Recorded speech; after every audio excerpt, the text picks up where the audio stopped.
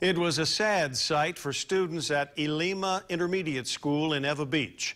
They spent the weekend planting new grass on their campus, but their hard work has been ruined.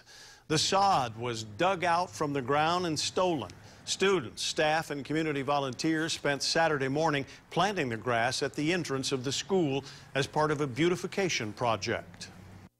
But when we have senseless things where, you know, people are stealing grass from the ground, you know, it, it's just really senseless and, and hurts the, the morale of the school. For students, you know, to, to witness stealing happening and, you know, it, it's, you know, unfortunately the, the wrong kind of lesson that we want them to, to learn.